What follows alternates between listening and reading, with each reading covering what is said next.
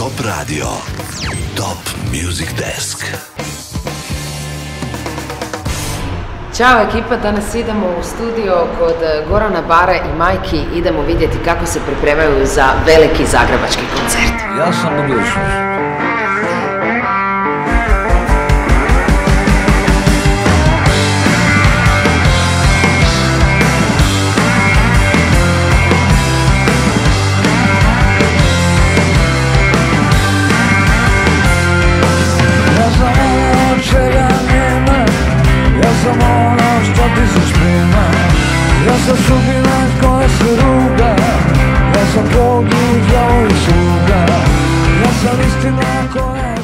Svima, ja sam Džina Damjanović, a danas je ekipa Top Music Deska izašla na teren.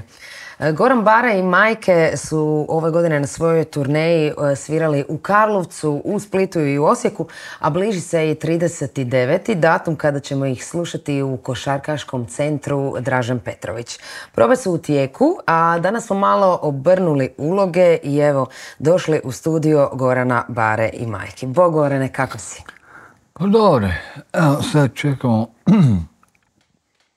ostatak benda da dođu. ovaj, Ja i Mario smo malo preslušavali ovo što smo do sad radili.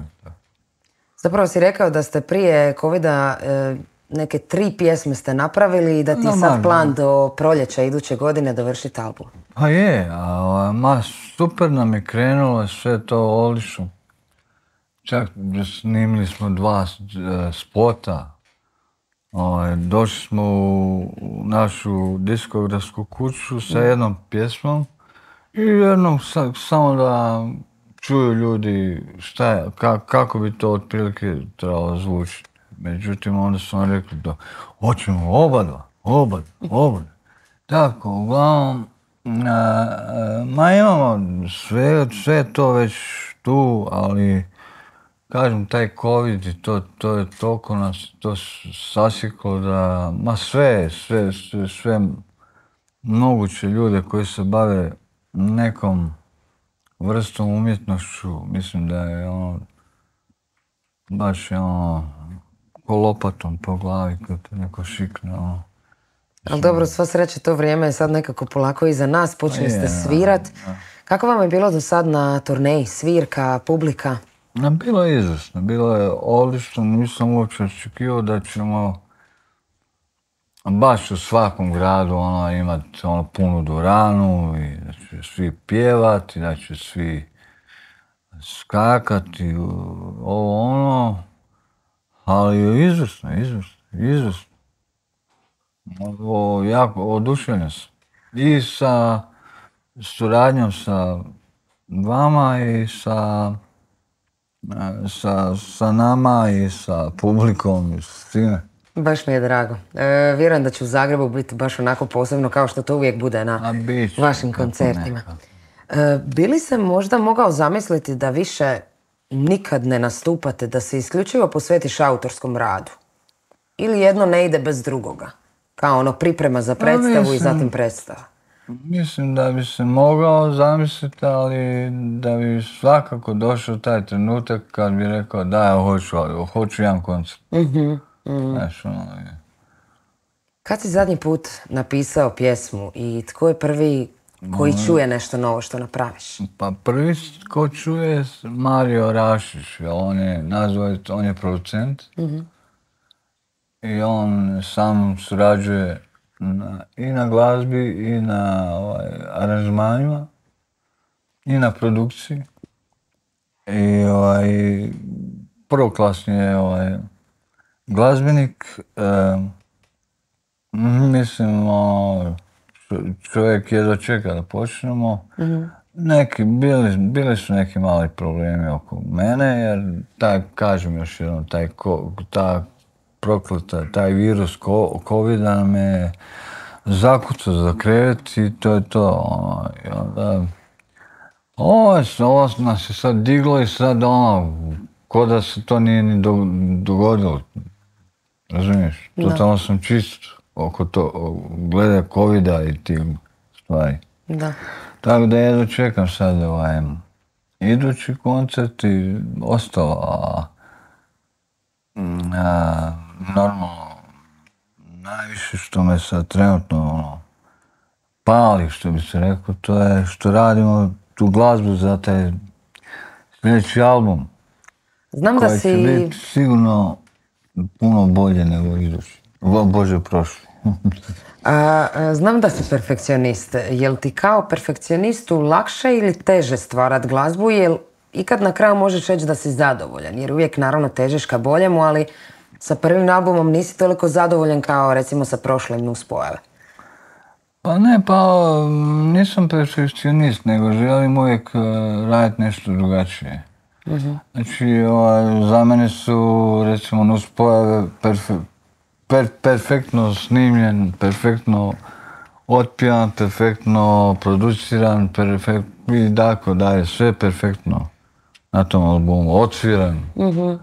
Tako da ja ne želim, ovaj, nije, nije u tom spika, spika, priča. Priča je u tome da, mm, da ja ne želim se ponavljati, ne želim se ponavljati, to, ja, to sam toliko dugo radio, znači i sa majkama, znači 80. 90.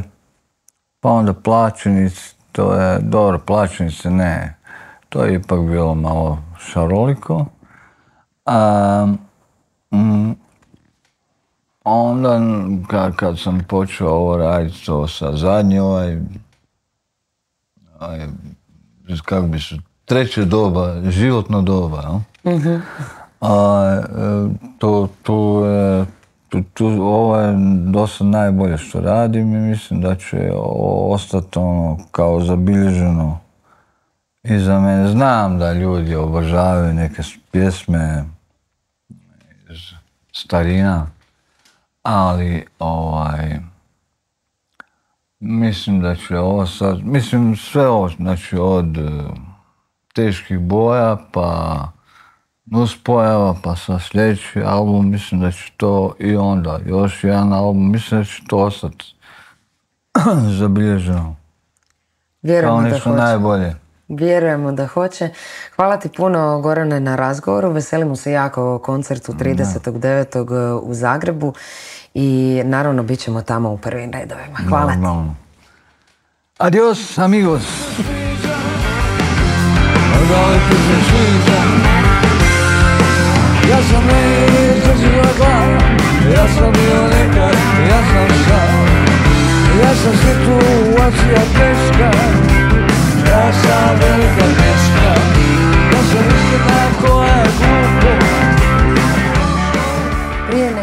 majke krenu s probama, morali smo osim Gorana uhvatiti i glazbenog producenta i basista grupe Majke, Marija Rašića.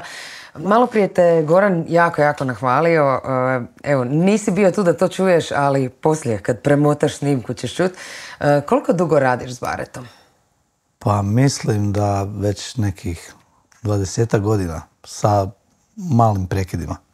Znači prvo sam bio u plaćenicima, pa onda smo, ovaj, kad se oni ponovo oformili kao majke, onda u tom periodu nisam bio i nakon godinu, dvije sam ponovo, ovaj, mijenjao sam kilmistera i onda je se to nastavilo dalje. E, glazbeni si producent e, albuma Nus pojave i novi album sad radite zajedno. Kako je tebi iz perspektive aranžera i producenta raditi s Goranom? Što te u njegovom autorstvu možda najviše inspirira? Gle, e, super je zapravo raditi s njim, jako je inspirativan. Tekstovi, užasno mi se sviđaju njegovi tekstovi i onda ja u principu po tim tekstovima pokušavam složiti muziku zapravo da bi e, dočarao taj tekst, da bi taj tekst još više izašao van. Da. I onda mi je to totalni izazov. Znači nije ono bez veze sad ajde kao idemo napraviti pjesmu. Nego svaka ta pjesma ima neku poruku i onda ti je baš full izazov ovaj, podržati to s muzikom. Ne znam na koji drugi način bi to objasnio. A kad pristupaš zvuku, naslanjaš li se već na neki prepoznatljivi e, zvuk benda do sad ili izolirano gledaš na što te nove pjesme kao što se rekao tekst asocira? Uglavnom ovaj, e, ne okrećem se za onim starim majkama. E, S obzirom da i Bare razmišlja jednako kao ja to je zajedno ovaj, dijelimo, dijelimo razmišljanje po tom pitanju. Autor mora ići dalje, Mo- mora, stvari se moraju mijenjati. Glupo bi bilo i bez veze da čovjek koji sad već u, lagano se približava 60 da i dalje, ne znam, pjeva stvari tipa ono, zbunjeni, šamućen i ne znam nije šta. Htio sam reći da se stvari moraju mijenjati, da autor ako je na nekom tlu poznatom, da to je ovaj, mislim, nije, nije do- dobro. Pa da, jer nekako moraš, rasteš, napreduješ, odrastaš i kao osoba je. sazrijevaš i onda se to mora očitovati u autorskom radu. E, što ti je najvažnije u studiju, a što na pozornici? Pa i u studiju na pozornici mi je najvažnije da je bare ovaj, dobar, da je na onoj visok high, high level ovaj, energije. To je najvažnije. Onda ako je on dobar i ako je on energetski ovaj, jak, onda sve funkcionira. Tako i u studiju isto. A što bi rekao, čime Bare najviše osvaja publiku? Što je ono nešto što ga čini tim posebnim umjetnikom i performerom? Pa dosta sam pričao s ljudima i dosta mi prilaze ljudi i govore i, i muzičari i, i što bi rekao jedan bubnjar civili, publika. ovaj, I onda svi zapravo izgovore istu, uh, kao on je iskren. Sviđa im se, uh, ljudima se jako sviđa što je on iskren. I on u tim svojim tekstovima u principu je iskren, on pjeva svoj jad i čemer i bol i ljubav i ne znam nija šta. Znači on ne otvara usta bez veze. To je moje viđenje njega. E, Sve što kaže, kako bi rekao, stoji iza toga. Znači nije ono načvrčkan tekst, evo napisao mi je neko 15. tekst, pa sad ja pjevam, pa da ga neko pita u sred frke čemu ti pjevaš, znaš, pa ne znam. I onda se svi vežu za to, ono. To je njima iskreno, istinito i mislim da je to stvar koja u principu je potonula u, općenito u glazbi, o, a, iskrenost. Jer dosta toga je, znaš, ono, pro forme, kako bi rekao. E, sad ću ja biti pjevač, ja ću pjevat, ja ću svirat zato što je to ne znam šta i tak dalje i tak dalje. Da. I mislim da je to stvar, uglavnom, uglavnom i to ljudi govore za njega, ono, o, on je iskren, on je super, on je... Mislim što mogu i potvrditi, fakat je, da. Da. Pa zapravo ta umjetnost proizlazi iz te iskonske neke potrebe za stvaranjem, za na neki način ispoljavanjem svih emocija, a on očito nema problema s time i zapravo to onako iz duše radi, tako da mislim da to zaista. Mala baš nema problema s tim, on će reći svugdje u svakom trenutku ono što, što misli. I onda naravno imaš ljude koji to zamjeraju, imaš ljude koji to dožive kao super stvar. Da. Ali definitivno je super stvar. Mario, hvala ti puno. E, želim puno sreće, želim da bare i vi budete na toj visokoj energetskoj razini u Zagrebu 39. Vidimo se tamo. Ćao. Da li ti se sviđa? Da li ti se sviđa?